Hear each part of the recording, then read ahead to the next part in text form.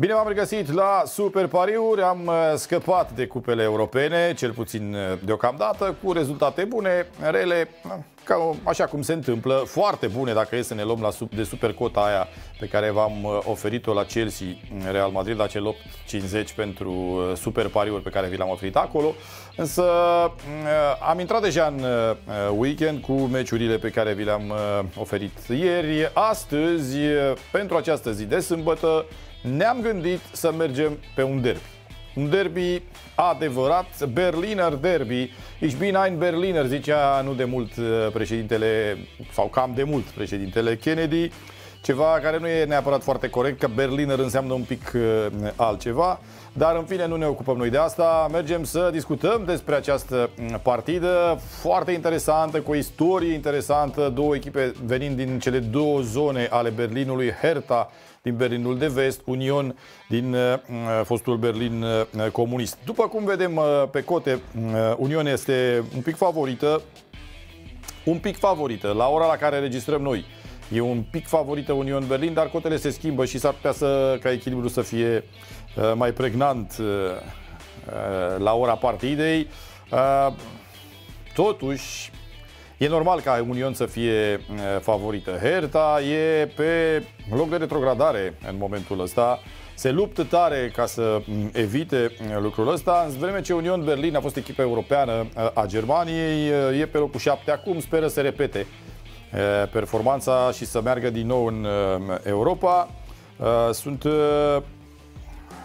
cumva motive care fac ca această, acest statut de favorită al celor de la Union Berlin uh, să fie, norm, să fie, să fie clar, să fie explicabil, mai ales, adăugăm aici, uh, că Union a câștigat cele două meciuri jucate în acest sezon. Cele, echipele, ăsta e al treilea meci pe care îl joacă uh, cele două echipe. 2-0 în tur, în turul campionatului, în turul din Bundesliga. În ianuarie a câștigat în Cupa Germaniei 3 la 2.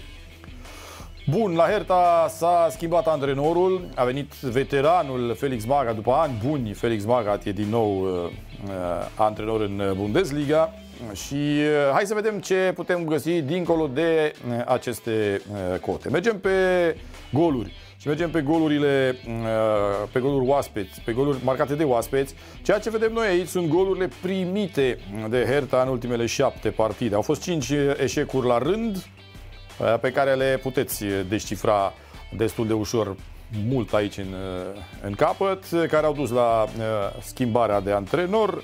Apoi, în fine, un rezultat de egalitate fără Felix Magath, care avea COVID și un alt rezultat nefavorabil, un eșec pe terenul celor de la Bayer Leverkusen, chiar cu Felix Magath acum pe bancă. Bun.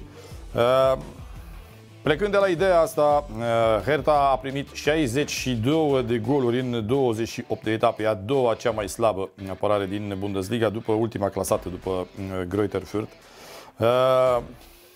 Uh, plecând și de la ceea ce s-a întâmplat în celelalte două meciuri directe din acest sezon, două goluri Union în primul, trei în cel de-al doilea, ne ducem pe ideea noastră de pariu, de Prima idee de pariu pentru meciul ăsta, cel puțin două goluri marcate de Union Berlin pe cotă de 2,65.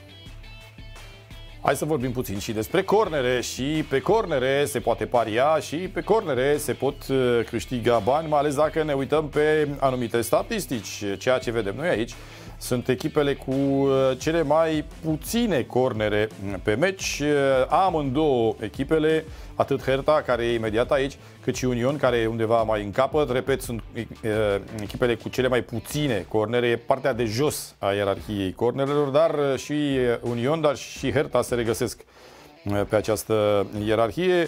Undeva aproape de 4, 3,9 are Union, puțin peste 4 are Hertha, deci undeva la 4 ar fi media celor două echipe.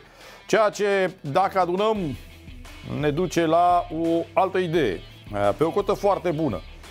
Sub 9,5 cornere în meci. Sub 9,5 cornere în meci, așadar, pe cota asta de 1,80. Iar uh, pentru final, la treia idee de pariu, poate cu ea trebuia să începem, uh, e cea pe rezultatul final. Uh, ați văzut cotele, nu le mai reluăm. Ceea ce vedem noi aici sunt ultimele meciuri ale celor de la Herta. Ne întoarcem la ultimele meciuri ale celor de la Herta, 5 eșecuri la rând, apoi remiză cu Hoffenheim și apoi iarăși eșec. 6 eșecuri în ultimele 7 meciuri. Nu știu ce poate să schimbe domnul Magat de aici din imagine, ce a putut să schimbe în ultimul timp. Dinamica echipei însă pare pare mai degrabă în jos, adică spre Zweite Bundesliga. Ne ducem, puteam să ne ducem pe X2, care are o cotă rezonabilă pentru un derby. Ne ducem însă pe o cotă foarte, foarte bună, victorie a celor de la Union Berlin pe cotă de 2,70. Iar superpariul acestui derby, pentru superpariul acestui derby, am ales unul care ne dă o cotă de 3,20, câștigă Union Berlin, așa cum am spus, și măcar un gol se marchează în repriza a doua, cota este de 3,20.